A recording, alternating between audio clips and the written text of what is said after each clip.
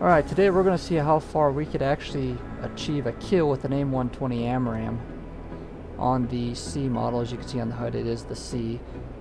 And right here it's saying about, I'm going to guess 85 miles from target.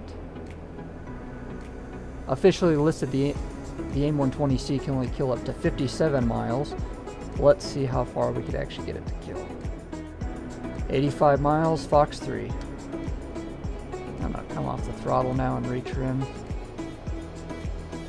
And the AIM-120 is now coming down. Altitude's decreasing, speed's decreasing.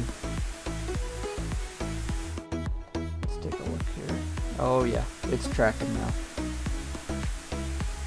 Yep, it's gotten its own internal guidance now. It's steering itself. And I think the TU-160 is trying to evade here, but yeah, no use.